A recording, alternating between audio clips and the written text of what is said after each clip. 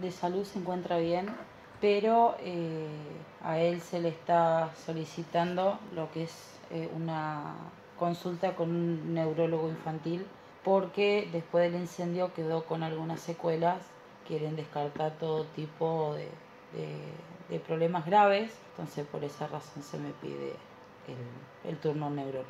Hay un neurólogo que viene acá a Morteros. Sí. ¿Qué pasa? ¿Sacaste turno? ¿No pudiste? ¿No viene? ¿Cómo es el tema? Vino, hoy es 13, vino hoy, pero hasta febrero no tiene turnos. Hasta febrero no tiene más turnos. No, y el único lugar que conseguí es en Córdoba. En Córdoba. ¿Cuándo sería el turno? El 29 de diciembre. ¿Por qué lo llevas a un neurólogo? ¿Cómo, cómo llegas a ese diagnóstico, digo?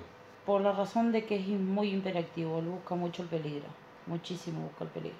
Uno hay que, tiene que estar detrás de él continuamente para que no pase una tragedia mayor, porque vos le decís no y él va. Y en este caso te lo recomendaron la, la, terapeuta. Sus de, terapeutas. Sus terapeutas. Tanto su psicóloga como su fonoaudióloga y eh, la psicopedagoga. Él sigue con ese grupo de, tratamiento, ¿no? Exactamente. Desde que pasó lo que pasó. Exactamente. Salió desde Buenos Aires con eso y llegó acá a Mortero con eso. Y se sigue tratando, digamos. Se sigue tratando. En este caso, Lucy, bueno, lo que son. Eh, Gale tiene el pasaje para viajar, ¿no es cierto? Gale tiene lo que es el carnet de discapacidad para transporte, para viajar gratis. La que, no tiene, la que no tiene para viajar soy yo. O sea que eh, esta campaña que vamos a hacer es pagar tus pasajes de ida y vuelta más la consulta, ¿sabes lo que sale ya o no? Cuatro mil pesos. Bueno, movilizarse allá en Córdoba. Sí. Y contar un poquito qué te dijeron las terapeutas de Gale, lo que te pueden pedir.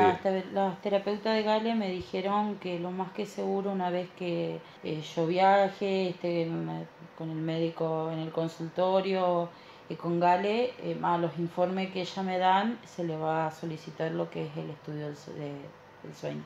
¿Cómo está Gale en el cole? ¿Cómo está él? Lo que es el tema del aprendizaje, es, estoy orgullosa de él porque vos le, le decís, haceme esto, no te digo que suma, resta, pero avanzó muchísimo lo que aprendió a dibujar, escribir su nombre solo, eh, algunos números, algunas letras. Lo que sí es que molesta, él por ahí se defiende eh, cuando se siente atacado o se larga a reír como chiste y hay gente que lo toma como si fuera una burla. Y en el tema de la comunicación, ¿le cuesta, se comunica, este, habla? ¿Cómo está, cómo está ese tema? Eh, bueno, con el tema del habla avanzó mucho, y, pero por ahí le cuesta. Por ahí le cuesta más, por eso sigue yendo a lo que es la fonoaudióloga. Y todo esto, este, Lucy, que te dicen, bueno, tanto la fonodióloga como la psicóloga como la terapeuta, todo tiene que ver con el tema del incendio, ¿no? Sí, porque no era así. A pensar que pasó con solo tener un año y diez meses. ¿Recordás cuánto tiempo estuvo internado? Dos meses en, Buenos Aires, en el lugar. Cuando, y bueno, yo cuando estuve en Santa Fe, que yo tendría que haber estado cuatro meses, eh, yo forzosamente tuve que pedir la lata voluntaria para poder cuidarlo porque no tenía quien lo cuide. Eh, él no me reconoció a mí. Yo para él no era su mamá, hasta que bueno, con el tiempo él se fue adaptando, fue sabiendo quién era, cómo me llamaba y bueno, hoy tiene, hoy en día tiene cinco años. Cinco años. Lucy, si te parece, vamos a alargar la campaña y bueno, y vamos a ver si podemos conseguir premios, ¿te parece? Sí. Vamos a pedir unos premios a nuestros queridos oyentes, televidentes, auspiciantes, gente que tenga negocios. Domingo 26 entonces hacemos el sorteo.